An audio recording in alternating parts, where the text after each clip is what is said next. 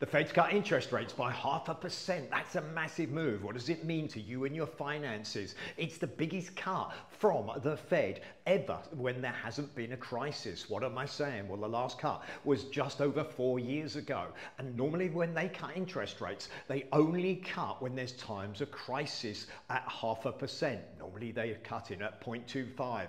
Only in 2001 when there was a crisis in 2007 did they cut by half a percent. So are they panicking? Well, what are we seeing? Well, first of all, we're seeing that unemployment numbers are going up quite quickly. They're also looking at inflation, and inflation is under control. So they feel that they're confident enough to cut by half a percent. Could it mean, however, that inflation actually starts to edge up? And that means that they've acted too quickly. Or are they acting in a timely manner and just saving the market and making sure that we get a soft landing? I'm actually going for the soft landing personally, but let me explain further so you understand what it means. First of all, it means that if you've got a mortgage, whether it's in America or other parts of the world, which determine often their currency by the dollar, then you're going to see interest rates cut. That's massive. It means that you're paying less for your mortgage, less for your credit card. Also means, however, if you've got money saved, unless you're invested in the right areas and someone like deVere can help you, then you're going to be getting a lower rate from a bank account or a fixed return.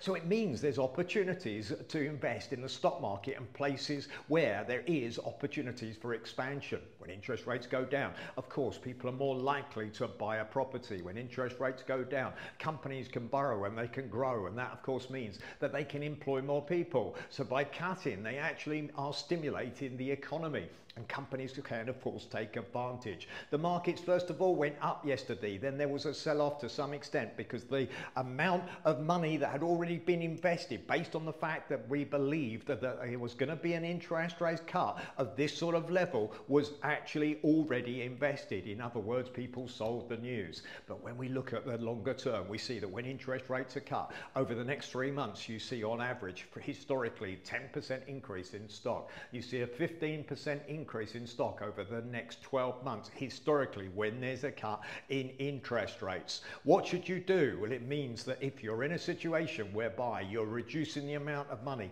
that you're actually spending on things like credit cards and mortgages, obviously then you should be trying to make sure that you save that money, invest it, invest in the right areas, invest for me in a diversified portfolio, particularly in areas where the AI sector and tech is going to take advantage. You can talk to a DeVere advisor if you're looking for fixed returns. We're also locking great returns for you. It's a massive move by the Fed and it's controversial to some level because it's larger than many expected, although we did predict it. It means, however, there's good opportunities and for me, it means it's a good time to be looking at investing in the right sectors and making your money work for you.